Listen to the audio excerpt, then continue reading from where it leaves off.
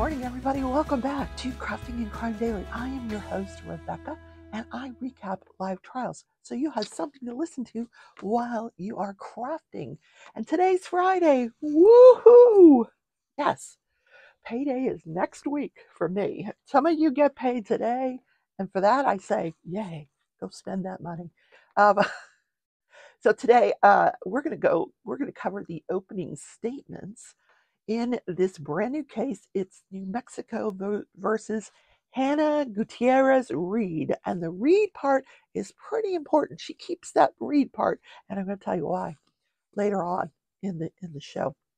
So uh, before we even get to the opening statements, there was an issue with one of the jurors, so they had to wait for this juror. They weren't they were late, and I think it's because they got into an accident. But anyway, they were late for trial, so they had to wait to start the trial. But when the judge finally brings in the jury and before she starts giving them, you know, her opening spiel, she lets the jury know that, you know, one of the jurors, you know, we got a late start today. You know what? Accidents happen. Now, she didn't use the quotes. I'm using the quotes, but I thought, oh my God, she just summed up this entire trial. Accidents happen. Like, what a prophetic statement to come out of the judge's mouth before we even hear opening statements. Accidents happen. Well, let me tell you, this stemmed out of the shooting on the set of Rust. It's an uh, old Western movie that was being produced by Alec Baldwin and crew. And they were out on a ranch called Bone, Bonanza Creek Ranch. It's in Santa Fe, New Mexico. Thousands of acres for this ranch. And on this ranch is this old Western town and this old church. And I'll show you pictures of both. Um, Hannah Gutierrez Reed is charged with involuntary manslaughter, and the jury is given an option. They're going to get to that involuntary manslaughter one of two ways either through her negligence or her her uh, not following ordinary care. So she's also charged with tampering with evidence. And that stems out of apparently after the shooting happens, she gives a bag of cocaine to someone else on the set, someone she doesn't really even know. And this person is like, oh my God. And they get rid of it. They're like, I don't want to get caught with this. And they get rid of it. So then she keeps contacting the, the person that she gave it to, saying, I want it back. And it's gone. So, but what that has to do with this case, I have no idea, except I guess she just didn't want to get caught with it after. I mean, it's not evidence of her negligence, unless I guess she was using it on the set during the movie filming. Now, she is alleged to have used some drugs the night before and, uh, you know, in her off time. Well, so uh, the judge, before we get to opening statements, also confirms with Court TV that they will not be showing the first video that's going to come into evidence. So, okay. So that's probably the actual shooting itself. So this all occurred on October 21st of 2021. Uh, when Helena Hutchinson, Helena Hutchinson, she was born in the Ukraine on April 9th, 1979. She's only a year younger than me. Oh my goodness. Uh, she was married to a guy named Matthew and at the time had a one year old son. She had gone to film school. She had recently gotten a master's degree from the American Film Institute and her job was the uh, she was the cinema, cinematographer. I'll get it out. And um, the prosecution explained that what that means is they create the overall vision of how this film is going to look on the screen. They check, they choose the lighting, they choose the um, the colors, they, you know, they they they pick out which footage is going to appear uh, in on the screen. Okay, I believe you. Um, Hannah Gutierrez uh, Reed was the armorer on the set, but she had two jobs. She was also a prop assistant, so she part-time prop assistant, part-time armorer, full-time job. And as the job uh, for the prop assistant, she was supposed to go out and source different items. For example, um, if anything that would appear in the film. So if they're in a kitchen, she needed to go out and source, you know, pots and pans and dishes and you know whatever's going to appear. So one of the things that she needed to source was guns, weapons, old time weapons. And I'm going to show you a picture of the actual weapon that was used in this shooting. It's a uh, it's a pistol, and it's actually not old. It's brand new it they it was sourced directly from the manufacturer. So we're not going to blame the weapon, but did I mention there are more holes in this case than Swiss cheese? One of the things I used to do as a risk manager was identify when you're when you're doing a risk assessment, you want to find the holes in in the process that mistakes can happen. And there were so many in this case, so many the other thing that she was uh, supposed to source, and she did, were blank or what they call dummy bullets. There's blank bullets, there's dummy bullets, but you don't want a live round on, anywhere near a, a movie set. You really don't. But unfortunately, somehow live rounds made it onto, through all the Swiss cheese holes, onto this movie set. Now, the prosecution, um, through showing photographs, he is trying to explain to the jury the difference between a live round and one of these blank rounds. And he's, he shows a picture, um, and you can see that the live rounds have what they call a a primer.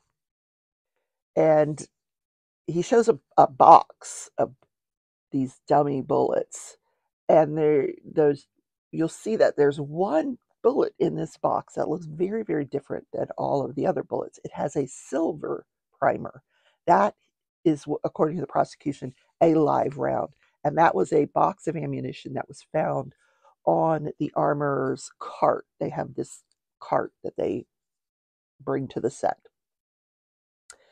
And before Hannah Gutierrez Reed's job is before she uh, brings that weapon to the set, it's her job to make sure that each and every bullet in that gun, and the gun held six bullets, each and every bullet in that gun is a dummy round or a blank round. And you can do that several different ways. Um, you can, first of all, you have to take the bullets out.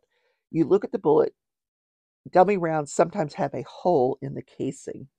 Um, if it doesn't have a, if it has a hole in the casing, then you know, okay, this is a dummy round. Um, if it doesn't have a hole in the casing, you look to see if it's missing its primer or the primer is in some other color than silver, according to the prosecution.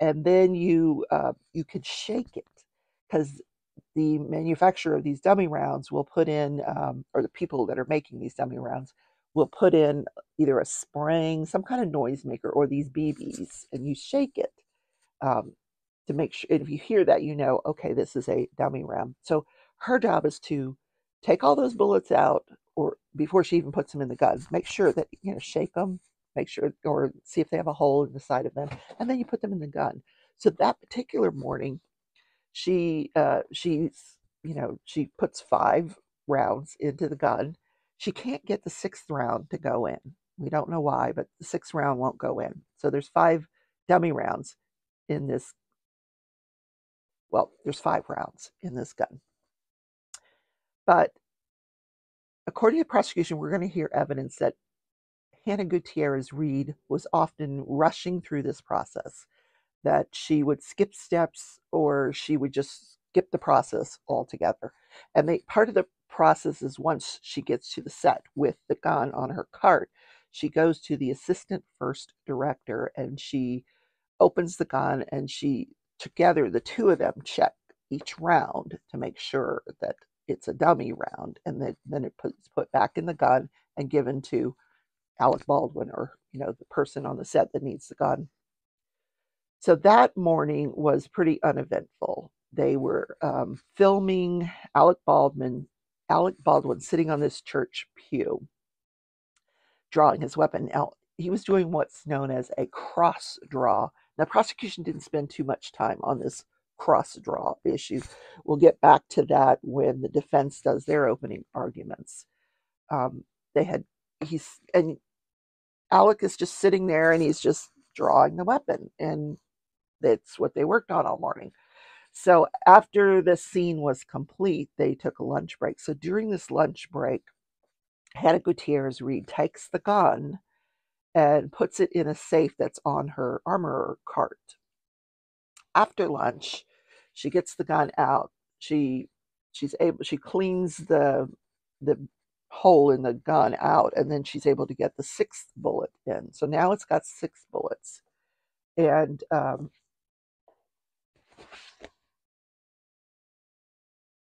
now he didn't even need the gun for what they were going to do that afternoon. They were blocking the scene. And what that is, is they're trying to figure out who's going to stand where. And, and, you know, it's in preparation for rehearsals. So they were just blocking the scene.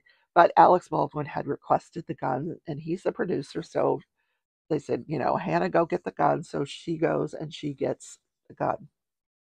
And like I said, she was able to put that back in. Then she goes to the assistant first director. He just, she, it's very sloppy. She just opens the weapon, shows him the bullets, puts it back in, and they neither one of them check to see if there are any, you know, dummy rounds versus live rounds. Um, after that, she gives it to the director. The director, assistant first director, gives it the gun to Alec Baldwin. Now, Alec Baldwin is sitting there practicing, um, and while he's sitting there practicing this cross draw, the gun goes off. The gun goes off. It hits Helena Hutchinson. It goes through her body. Uh, it enters her body, exits her body, and then hits the director in the shoulder. She is the director's not wounded badly. He's wounded, but not as badly as as Halyna Hutchinson. I'm sorry, I keep saying Hutchinson. Helena Hutchins. She uh, it took a while for rescue to get there because this is like I said, this ranch is thousands of acres. It's out in the middle of nowhere. They they finally get there, the emergency people, and they realize they need to life flight this woman somewhere. So they get a helicopter, they life flight her out of there, uh, get her to the hospital where she is pronounced. Um, she does not survive. So the prosecution goes to goes on to describe that six live rounds were found during the investigation of this um, death. Six live rounds were found on the set. Two were in the box of cartridges that were being used by Hannah Gutierrez Reed that were on the armorer's cart. So now the defense gets up and they're doing their opening. And he starts out by saying, listen, this was a tragedy. This was a really bad tragedy. But that doesn't mean a crime was committed. And he says the only reason his client is here is because she is the scapegoat. And, uh, you know, I, I knew very little about this going into this case, but after these opening statements, and as a former risk manager, like I said, there was, when he started shifting blame here, I was like, oh my, this is going to be a really interesting case. So he starts out by talking about Alec Baldwin. He's like, listen, this is the guy that pulled the trigger. He didn't even need the weapon for a blocking of a scene. He asked for the weapon. He pulled the trigger. Everybody knows you don't point a gun at someone unless you plan to shoot them. He pointed a gun at Helena Hutchinson and he pulled the trigger. If you're not planning on shooting the gun, because Alec's defense is going to be that it went off accidentally, and I doubt we're going to hear from him during this trial because he hasn't had his trial, and he's going to take, you know, he's going to plead the fifth. He's not going to come in and talk about this. Not till uh, not till his trial is over, unless his ego is just that high that he he uh, you know who knows with Alec Baldwin. Anyway, he also talked about OSHA. Now he described OSHA as an organization, uh, a, cup, this organization in New Mexico. Well, OSHA is a federal organization. It's in every state. Um, they they are responsible for safety on the work site, and they came in after this accident and they investigated and they were given This, this production was given the largest fine ever imposed in the state of New Mexico. I don't know how much that was, but I'm just telling you what the defense opening statement was for safety errors that they found, including the fact that Hannah Gutierrez Reed had two jobs. And she had written, apparently, we're going to see an email where she wrote uh, to her boss saying, Listen, I need more time as the armorer. And, he, you know, I, I don't have, I'm not spending enough time as armorer, and that's going to lead to mistakes. And they said, Nope, this is all the time we have for you to devote being the armorer. Okay, that's going to be an interesting. So they were cited for her having these two jobs and not devoting enough time to the one job, and uh, you know, also for insufficient training on this on the site. Now, Hannah Gutierrez Reed had offered to train Alex Baldwin. Apparently, doing a cross draw, a cross body draw, is one of the most difficult ways to draw a gun. And she had offered to teach him how to do it properly, and he never showed up for the training. Then the defense attorney pointed out that just because a bullet has a silver primer does not mean it is a live round. Dummy rounds can have a silver primer as well.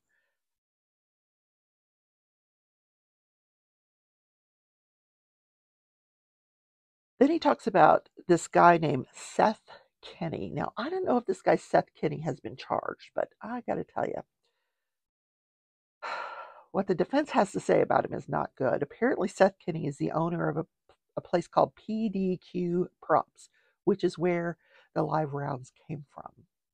Now, Hannah Gutierrez Reed's father, uh, his name is Del Reed. He's a famous armorer. He had just finished working with Seth Kinney, the owner of PDQ Props, out on the set of Yellowstone 1983 in Texas.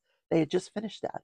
And on that set, they were using live rounds to train the actors on how to react to a live round so that when they got a dummy round, because a dummy round, it you don't get the same kickback and and as you would if you have a live round. So they wanted the actors to feel what it's like to actually fire a live round so that when they go to fire the dummy round, they can act that out. So after they're finished with this film, Seth Kinney takes the cartridge boxes back to PDQ props PDQ Props is the same company that supplied the cartridges to Hannah Gutierrez Reed, who was well trained by her well known father on how to be an armorer.